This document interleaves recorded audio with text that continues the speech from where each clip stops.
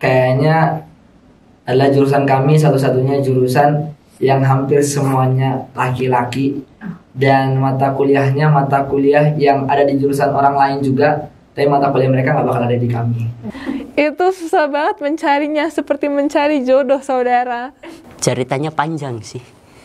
Tapi intinya tuh pelampiasan eh pelarian semata Um, Lebih ke aku cara ngerjainnya sih. Gimana third bahasa Indonesia apa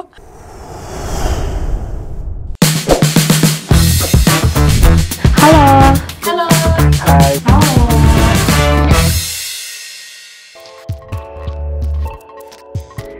Oke, nama gua Timothy Partaliano 73 Parusip. Nama panggilan gua Timothy. Umur gua sekarang 20 tahun dan gua sekarang tingkat 3 dari jurusan Teknik Informatika. Eh, nama aku Bunga Sintia Sihaan. Di Unai sih biasa dipanggil Bunga. Aku 21, terus jurusan farmasi tingkat 4. Nama aku Tania Kaunang, biasa dipanggil Tania. Umur aku 20, jurusannya aku bahasa Inggris dan sekarang lagi eh sekarang lagi. Sekarang 33. Perkenalkan, nama aku Tasya Gisti Teoria dari Bekasi, umurku sekarang 20 tahun, dan tingkat 3 dari jurusan Teknik Informatika. Eh, nama saya Sandi Arimania Ujudeda umur 21 tahun dan tingkat 4 jurusan bahasa Inggris Eh, nama aku Alicia Nayawan, panggilnya Alicia. Alicia Nayawan. Dari mana nih asalnya? Asalnya papaku Manado, mamaku Jawa, tapi aku lamanya di Manado. Oh iya. Tingkat 3, Tingkat 3 jurusan, jurusan keperawatan S1. Nama lengkap saya Kairin Carol Mangwal, biasa dipanggil Kairin. Saya tingkat 3, jurusan akuntansi. Oke, perkenalin nama nama gua Felix Lemuel Moses Binsar Sumampo. Eh, biasa dipanggil Felix. Asal dari Bekasi, umurnya sekarang tahun 2001, dua- tahun sekarang 2021 berarti oh, minggu depan 20, teman-teman. Dan tingkat dan jurusan sekarang tingkat 3, jurusan Sistem Informasi. Oke, nama gua Joseph Irvan Jordan Sitorus. NIM 1811031, jelas dari jurusan, filsafat. Kalian boleh panggil gua, biasa dia manggil Ocep, ada juga manggil Joseph. Kalau ditanya soal asal, mungkin gua dari Bekasi. Umur juga sekarang 21 tahun ya, nggak terlalu muda, nggak terlalu tua. Dan jurusan filsafat, puji Tuhan, tingkat yang terakhir. Aku Sultan Yeremi Teman Gultom, aku asal dari Bandar Lampung. Umur 20 tahun, aku ambil jurusan ilmu keperawatan, Fakultas Ilmu Keperawatan, jurusan S1, tingkat 3 sekarang. Eh, aku ngambil di aku ngambil jurusan farmasi di Fakultas MIPA. Eh, Fakultas MIPA itu terdiri dari dua jurusan nih, ada biologi sama farmasi. Tapi karena dari SMA aku tertariknya sama farm sama kimia-kimia, jadi aku ambilnya farmasi di Fakultas MIPA ini asik sih. Jadi aku ambil uh, informatika dari FTI, itu jelasnya ngebahas semua tentang perkomputeran dan teknologi. Gak cuman coding, tapi ada desainnya juga, kemudian ada uh, hubungan antara teknologi itu dengan manusianya juga ada. Fakultas Ilmu Keperawatan, eh, itu ada dua jurusan sih, ada yang S1 sama D3. Em, jadi di keperawatan itu kita belajar tentang tubuh manusia, kesehatan patofisiologinya, gimana penyakit itu bisa terjadi, kita harus ngapain kalau pasien sakitnya ini, sakitnya itu gitu. Fakultas Keguruan dan Ilmu Pendidikan jurusan Bahasa Inggris yang ada di UNAI itu merupakan fakultas yang sangat luar biasa di mana anak-anak mahasiswa mereka dididik dan mereka saat mereka tamat nanti mereka bukan saja menjadi guru tapi ada banyak lapangan pekerjaan yang terbuka untuk mereka. Di fakultas aku ini kan pendidikan kan, pendidikannya ada pendidikan bahasa Inggris sama pendidikan matematika. Nah, eh, di sini tuh ada kayak eh, kita juga di bahasa Inggris juga belajar matematika sih, kayak contohnya statistik. Terus di bahasa Inggris itu banyak struktur-strukturnya juga, kayak apa rumus-rumusnya dalam bahasa Inggris juga banyak banget. Itu aja sih yang aku baru tahu. Fakultas gua itu dari Fakultas Teknologi Informatika. Ini adalah fakultas yang mempelajari mengenai ilmu-ilmu komputer. dan ada dua jurusan yaitu SI dan TI. Tapi gue mengambil jurusan TI yaitu di mana kami belajar lebih ke teknik, sedangkan pada jurusan SI lebih mempelajari mengenai sistem. Nah, jadi akuntansi ini di bawah Fakultas Ekonomi dan belajarnya tuh tentang bagaimana seni mencatat keuangan perusahaan. Jurusan Fakultas Filsafat, jurusan Teologi, jelas kayak belajar soal Alkitabiah, mata kuliah yang Alkitabiah, semua kita akan kami bahas dan cita-cita kami semua adalah menjadi hamba-hamba Tuhan yang boleh dipakai bagi pekerjaan Tuhan. Aku ambil SMA dari uh, peminatan IPA. Jurusan IPA. Aku ambil jurusan IPA. Gue di SMA ambil jurusan IPA. Aku waktu SMK itu ambil jurusan perhotelan. High schoolnya kemarin um, Science, Technology, Engineering, and Mathematics. Jadi sama aja kayak IPA ya? Iya. Jurusan IPA. Ambil jurusan IPA. Aku ambil SMA, itu jurusan IPA. Eh, jurusan IPA. Sebenarnya mau ngambilnya kedokteran. Oke. Cuman karena dari luar, jadi pas masuk nggak ada UN dan susah gitu. Nggak ngerti juga sistemnya di sini kayak gimana kan. Jadi ya udahlah, alternatifnya perawat biar gampang. Ada Ternyata. kedokteran gigi kan? Atau beda ya? Iya sih, cuman nggak terlalu tertarik ngeliatin gigi orang tiap hari. Ceritanya panjang sih. Tapi intinya tuh pelampiasan, eh pelarian semata. Sebenarnya nggak mau perawat sih. Eh, eh, kain- eh, iya sih, lebih ke gitu. Cuman gimana ya? eh, dulu maunya sih ambilnya dokter tuh ya. Udah coba SNM sama SBM juga nggak tembus. Buat coba ambil mandirinya juga nggak dapet ya.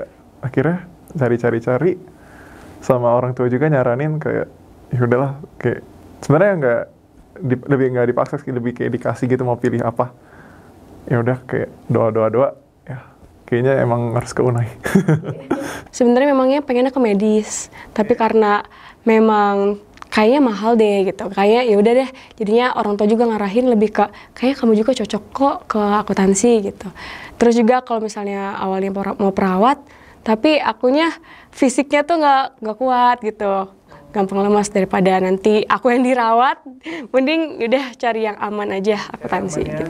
Jadi dulu itu waktu pertama kali mau masuk Unai, kenapa akhirnya bisa ngambil jurusan sistem informasi? Yang pertama, selain keluarga bilang kayaknya untuk eh, ke depannya nih lebih anak yang masuk IT, anak yang kuliah di belajar IT nih bakal lebih maju atau lebih apa gitu kan.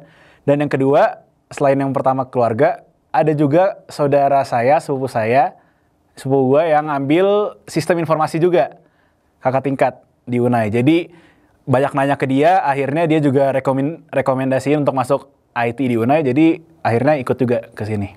Gua ngambil jurusan TI karena pada saat pertama kali gue masuk di Unai, ya gue melihat bahwa eh, fakultas TI ini mempunyai masa depan yang cerah dan ini juga merupakan salah satu fakultas di mana jurusannya yang saya minati dan juga dapat membawa perubahan dan peningkatan bagi diri saya. Eh, dulu waktu SMA itu bingung kan mau ngambil jurusan apa tapi pernah sempat kepikiran sama teknologi pangan.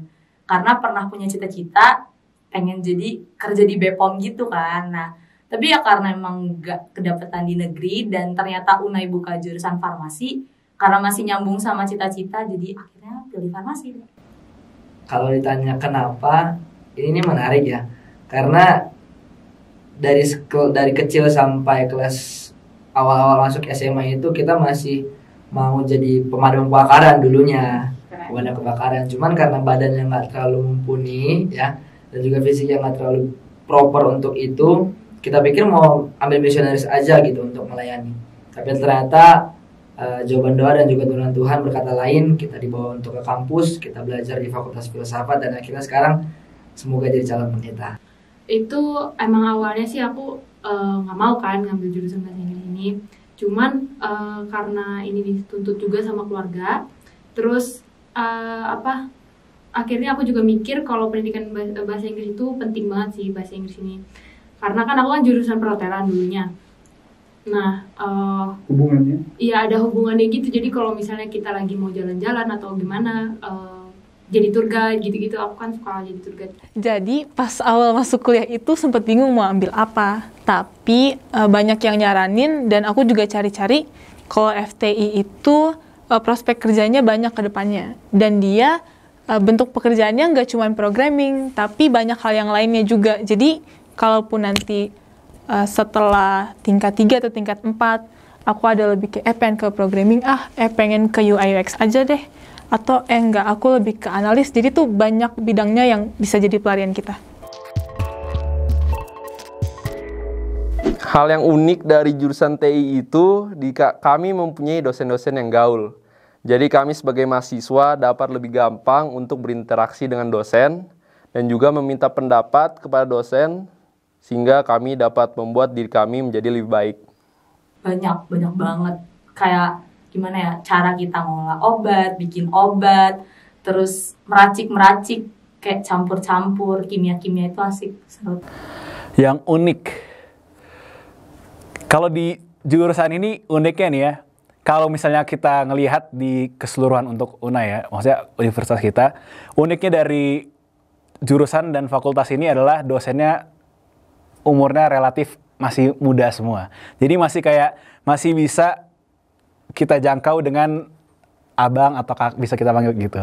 Jadi lebih gampang lah untuk eh, nyatuin chemistry gitu. ya fokusnya dari fokusnya aja udah tentang human body terus habis itu banyak prakteknya banyak di lab gitu Kayaknya yang unik sih perawat itu kan lebih ke caring ya, eh, lebih ke peduli. Karena di jurusan akuntansi ini kita bisa tahu tuh perutnya perusahaan tuh kayak gimana. Kita bisa tahu uh, seluk-beluknya gitu. Perusahaan ini bagus nggak sih sebenarnya, sehat nggak sih? Yang unik di jurusan bahasa Inggris itu eh, di situ ada banyak hal yang bisa kita pelajari. Eh, kita belajar bukan hanya sekedar bahasa saja ya, tapi itu eh, kita belajar ada linguistik, ada pragmatik dan ada banyak hal maksudnya yang di situ kita belajar bagaimana supaya kita dilatih otak kita bisa berpikir lebih kritis lagi dan eh, dosen-dosen di situ juga mereka luar biasa. Ada mereka mengajarkan leadership, discipleship dan lain-lain. yang unik ya. Yang unik itu kayaknya adalah jurusan kami satu-satunya jurusan yang hampir semuanya laki-laki dan mata kuliahnya mata kuliah yang ada di jurusan orang lain juga, tapi mata kuliah mereka nggak bakal ada di kami. yang aku tahu adalah ilmu kita selalu berubah tiap tahun. Kalau misalnya fakultas lain mungkin em, dari tahun-tahun 90-an masih kita pelajarin sampai sekarang. Tapi kalau misalnya IT tiap tahunnya pasti ada eh, perpindahan eh, materi atau per- pembaharuan yang lainnya lagi. Jadi kita harus update terus tiap tahunnya. bicara soal suka ya. Kalau soal suka di fakultas ini sih karena mayoritas kami tidak hanya satu suku, banyak suku yang lain. Jadi lebih banyak punya teman sih dan juga sukanya itu kita biasanya cross pengalaman gitu dan juga kita punya pelayanan kan ke tempat-tempat yang luas gitu. Kayak waktu itu kami ke Kupang atau juga kami ke Sumatera. Jadi banyak pengalaman-pengalaman yang fakultas eh, izinkan kami untuk terjun ke sana dan sampai sekarang kalau tanya soal pengalaman ya puji Tuhan sudah banyak oleh karena fakultas itu sendiri nah kalau soal duka nih karena kami laki-laki jadi teman perempuannya sedikit jadi kalau mau cari teman perempuan paling harus dari luar jadi agak susah gitu ya untuk punya teman lawan jenis tapi nggak masalah sih itu nggak jadi kendala karena kami kan mau melayani dan untuk cari pasangan di luar sukanya adalah lebih ke unik kali ya. Kalau misalnya kita ngerjain project atau tugas, kalau kita kan lebih banyak ngerjain project. Jadi saat project itu jadi dan kita ngelihat sendiri hasilnya secara langsung, itu kayak, aduh seneng banget. Kayak, ngerti gak sih? Kalau misalnya kita misalnya web, terus web itu kita jadiin selesai, dan hasilnya tuh kelihatan langsung kalau misalnya kita bikin paper atau apa, ya selesai aja jadi. Kalau project kita langsung kayak ada hasilnya. Kalau dukanya tidak lain dan tidak bukan adalah error. Itu susah banget mencarinya seperti mencari jodoh saudara. Suka dari jurusan yang diambil. Em, pada saat field trip sih di situ mahasiswa dan dosen-dosennya tuh eh, sangat friendly dan kayak eh, apa kebersamaan itu terbangun banget. Maksudnya dapat banget gitu. Erat. Duka dari jurusan yang diambil. Eh, jujur jujur aja ya. Sebenarnya aku tuh eh, dulunya nggak terlalu ini bahasa Inggris. Makanya dukanya saat kuliah ini kayak harus lebih gitu harus ada effort lebih supaya bisa ngerti bahasa Inggris. Pada saat kami field trip di situ, gua dan teman-teman juga bersama kakak tingkat dan adik-adik tingkat, kami bisa saling berkenalan, saling mengetahui satu sama lain. Di luar kuliah dan di situ juga kami dapat rileks dan bersenang-senang. Kalau momen yang kurang menyenangkan mungkin menurut gua pada saat gua dan teman-teman sekelas mungkin membuat ribut di kelas dan membuat beberapa dosen tidak nyaman sehingga dosen itu ya terpaksa meninggalkan kelas karena kami membuat suasana yang tidak nyaman. Dari sukanya sih eh ya seru-seru sama teman-teman jadi kayak sebenarnya susah-susahnya itu ternyata bisa jadi suka juga. Eh, kayak kayak kalau nanti kalau kayak ngerawat pasien kan kayak kalau pasiennya sembuh kan kan kita lebih ke sama pasien juga kayak tiap hari kayak semua kayak dan ke- keluarganya senang kami juga kayak ya senang gitu. Akhirnya bisa kayak bisa nyampe buat dia sembuh gitu. Kalau dukanya apa nih? duka di fakultas perawat. Ini kayak sebenarnya udah pada tahu sih kayaknya semua juga eh, pasti banyak banget tugasnya sama lebih sibuk sih kalau di UNA ini. Kayaknya kalau jurusan paling sibuk kayaknya sih perawat soalnya ada prakteknya juga ada praktek lab terus tugas-tugasnya nulis-nulis gitu-gitu Serunya itu kayak uh, kita bisa nonton, ada ada pelajaran yang di mana kita harus nonton, Iya. nonton bahasa Inggris, eh nonton yang berbahasa Inggris, terus uh, berinteraksi sama bule juga, misalnya ada se- seminar atau webinar gitu, Oh. berinteraksi sama bule-bule. Kalau sukanya eh sukanya itu apa? Untuk nugas bareng sih, nugas untuk ngoding bareng. Itu kayak asik banget karena kalau kita ada di lab ya, di lab kadang kita waktu itu kita di lab tuh untuk di- disuruh ngoding. Dan kalau misalnya ada satu yang salah terus ta- tapi tiba-tiba nanti kita bisa solve masalahnya itu kayak keren banget itu rasanya tuh.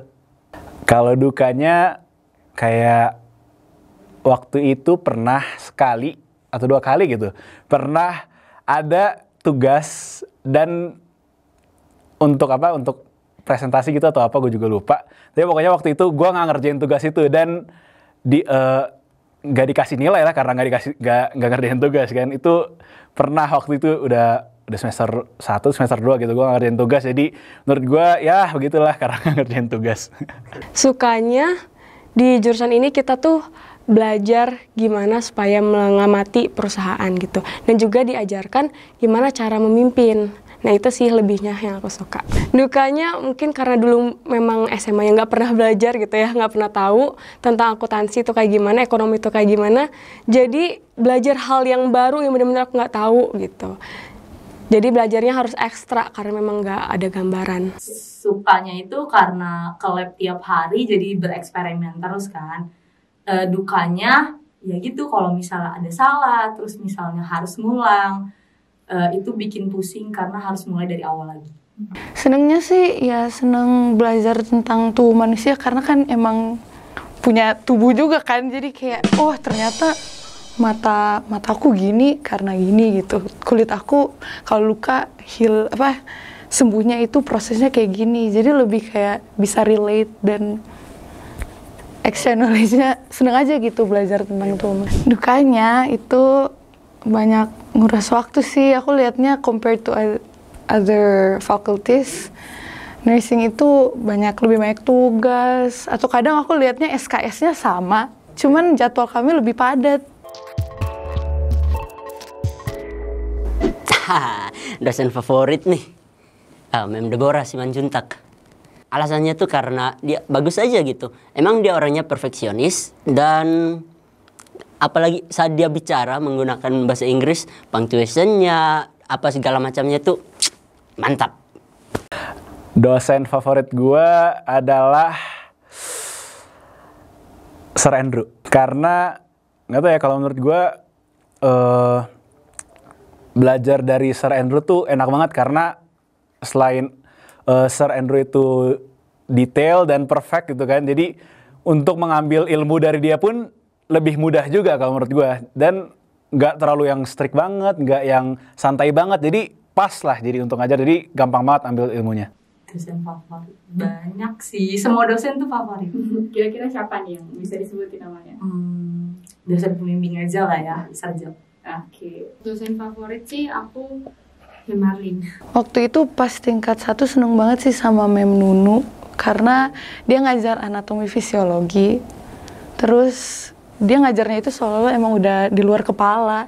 Jadi nggak perlu lihat lagi, dia langsung explain-nya flowy banget. Jadi enak aja gitu denger dosen yang passionate pas ngajar.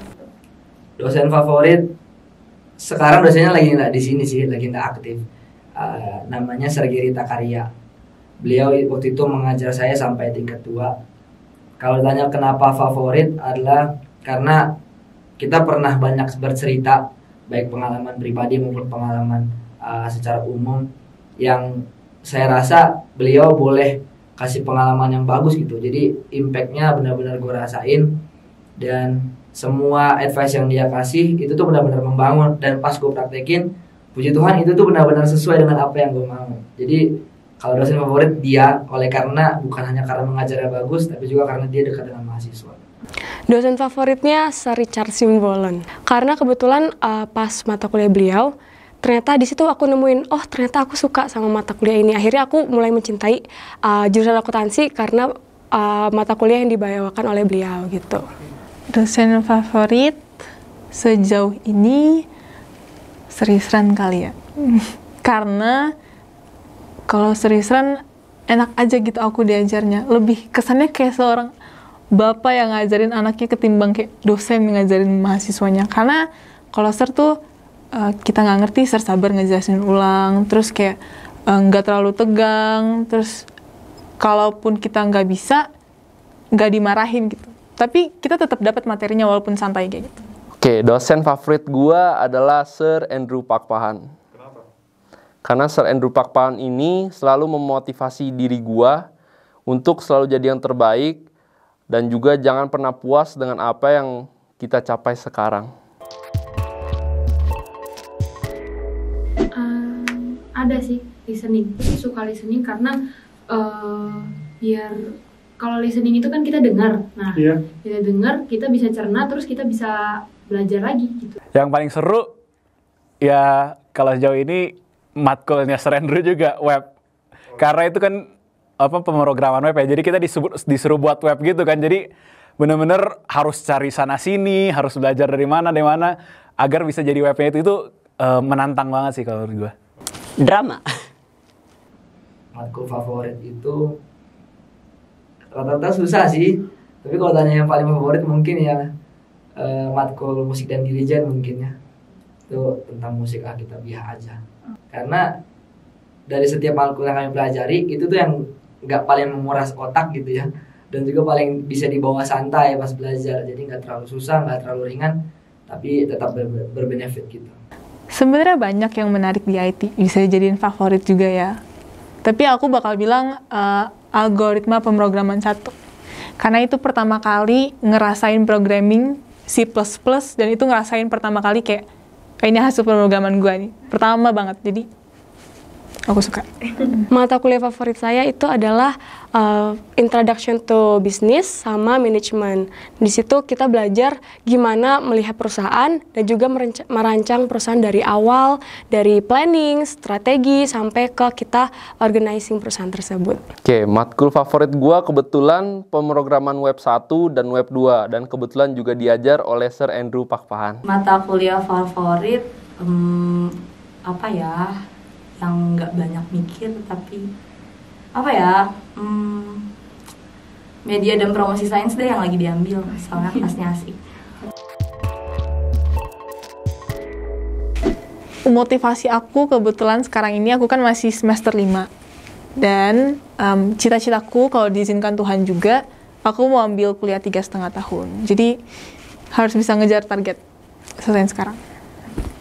Oke, tentunya motivasi gue itu untuk meringankan beban orang tua dan juga agar ke depannya gue lebih gampang dalam mencari pekerjaan. Pengen cepat-cepat selesai skripsi karena mama rindu banget secepat mungkin anaknya tamat dan rindu anaknya pakai jas untuk melayani kota jemaat. Oke, keren, keren. eh kalau gue pribadi, gue pengen nyelesain skripsi untuk waktu sekarang ini biar bisa lulus tiga setengah gitu kan, tiga setengah tahun, biar bisa merasakan dunia luar, asik dunia luar. Motivasi sih enggak sih. Lebih ke aku cara ngerjainnya sih eh, gimana ya buat timeline. Jadi kayak bulan ini bulan ini apa bulan depan harus kejar apa. Jadi kayak harus ada patokan buat buat kamu kayak eh, ngerjain itu. Motivasi untuk cepat lulus dari sini, terus eh, apa biar cepat bisa kerja sih? Biar cepet kerja. Motivasinya mungkin karena penasaran ya gimana sih mau meneliti perusahaan ini tuh kayak gimana. Kepo dulu pertama sama apa kasus yang mau kita teliti. Terus juga kedua karena pengen cepet tamat sih sebenarnya. Motivasi untuk menyelesaikan skripsi. Pengen merasakan gimana sih rasanya hidup eh, di luar mahasiswa gitu. Jadi pikirnya mau mau cepet biar bisa tamat sama teman-teman dari fakultas lain gitu. Beres semuanya terus kerja semuanya kerja bareng gitu. Kayaknya Alkitab itu nomor satu sih. Itu tadi aku mikirnya apa ya?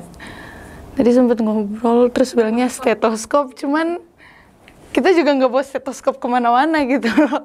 Sebenarnya yang diperlukan itu jam, cuman aku nggak pakai jam. Jam apa? Jam tangan. Oh harus ada. Karena pas ngitung heart rate itu kan sa- semenit-semenit gitu, jadi harus tahu gitu. Benda yang wajib dibawa kalau buat aku pribadi yang aku juga udah pakai beberapa kali adalah kacamata. Kacamata karena kita kan bakal sering banget lihat layar ya, kan? Gak cuma dari HP, dari laptop juga. Apalagi kalau misalnya udah project terus ngerjain sampai subuh segala macam, biar matanya nggak rusak, nih, sering-sering pakai kacamata. Di jurusan aku ini kayaknya yang diwajibin cuman kamus sih. Karena buat kayak translate translate terus kan nggak boleh pakai Google kan, jadi ya harus pakai kamus. Oke, benda yang harus ada di jurusan TI itu tentunya mahasiswa itu mahasiswa TI harus mempunyai laptop menurut saya.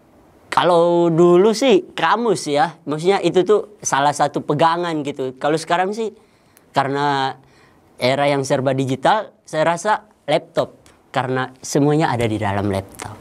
Farmakope itu kitabnya farmasi. Oh, jadi ada kitab khususnya. Iya, benar. Kalau di zaman sekarang apalagi Covid ini pasnya laptop sih karena di laptop kan udah semuanya tuh. Udah kita perlu menghitung di Excel ada di laptop, terus juga uh, kalkulator ada di laptop gitu sih. perawat tuh biasanya megang stetoskop sih kayak mau di TV gitu kan kayak oh cek pertama kalau lagi itu kan cek itu dulu Kalau di khususnya di fakultas gue ya, fakultas IT, kalau menurut gue benda yang harus banget adalah laptop. Karena karena dipakai terus untuk ngoding dan lain-lain. Oke, tips agar belajar jadi menyenangkan itu ya tentunya kita harus mempunyai niat dari diri kita sendiri dan juga kalau kita juga mempunyai teman-teman yang dapat membangkitkan semangat belajar kita itu sangat baik dan juga kita juga harus mempunyai eh, lingkungan yang belajar yang nyaman agar kita selalu terpacu, agar kita fokus dan kita tidak gampang terdistraksi. Eh, kalau aku sih biar belajar jadi menyenangkan sesuai mood ya. Kalau misalnya moodnya lagi pengen belajar, di situ harus langsung belajar. Karena kalau misalnya nanti udah nggak mood, jadi males. Terus ditambah denger dengerin lagu yang sesuai dengan genre yang kita suka. Tipsnya itu bawa have fun aja sih. Oke, tips buat belajar jadi menyenangkan. Kalau aku, tiap kali kita ngerjain project, bikin projectnya berdasarkan hal yang kita suka. Misalnya, aku suka K-pop, terus ada project ngerjain website atau aplikasi. Aku bakal bikin aplikasi itu tentang K-pop itu, jadi aku bakal senang tiap kali ngerjainnya. Harus kepo sih sama pelajarannya, harus pengen tahu ini gimana sih, itu gimana sih, aku pengen tahu gitu. Terus bisa juga belajar sama teman-teman bareng teman-teman karena nggak tahu aku pribadi sih lebih masuk pelajarannya kalau misalnya ada yang explain atau aku explain ke orang. Karena itu di kayak kata-katanya diubah dalam kata-kata kita sendiri kan. Jadi lebih ngerti gitu loh. Kalau temen yang je- ngejelasin atau kita ngejelasin ke temen jadi lebih dapet daripada kata-kata dari buku bahasa-bahasa buku gitu dari dosen kadang susah karena terlalu baku gitu Kalau dari gua tips agar be- belajar belajar itu jadi menyenangkan adalah cari teman untuk bisa belajar bareng. Karena bisa saling support. Kalau sendiri kan kayak boring banget itu terus kayak nggak gimana gitu kan. Kalau mau lawan jenis, mau sesama jenis, yang penting kerjainnya nggak sendiri gitu. Biar ada ada fun-funnya juga. Belajar menyenangkan, hmm, sebenarnya sih lebih push ke diri sendiri ya. Jadi kayak, ah gue harus ini. Sama kayak tadi buat ngerjain jurnal, ya buat aja apa kayak note-note gitu. Kayak malam ini kerjain apa, besok apa. Sama jangan apa ya, kalau bisa ngindarin ini nih teman-teman yang eh, yang ngajak main tuh biasanya kan kalau ayo push bareng ya enggak nanti dulu kayak harus ditunda jadi kayak harus ada tetap harus priori- prioritasin apa yang harus diprioritasin gitu Gak hanya itu boleh ya. Boleh lah. Jadi selama empat tahun di kampus, kayaknya karena kampus sendiri ya kasih tips kita. Yang pertama mungkin untuk belajar menyenangkan itu cari teman, teman sharing karena kalau nggak ada teman kita nggak ada motivasi belajar, nggak ada tempat untuk cerita gimana uh, pelajaran kita. Itu yang pertama cari teman. Mungkin yang dan yang kedua kalau kalian atau gue sendiri nggak kasih hati penuh untuk mata kuliah itu jelas nggak bakal senang untuk belajar itu tapi kalau udah kasih hati udah kasih pikiran fokus pelajaran itu jelas kita akan suka dan pasti kapan pun disuruh kita akan pelajari itu semua Tips agar belajarnya jadi menyenangkan. Tentukan, eh, luangkan waktu yang tepat, terserah. Kalau memang kalian tuh orangnya suka menyendiri, ya udah cari tempat yang tenang. Lalu kalau ada tugas apa-apa, langsung dikerjakan, jangan ditunda-tunda.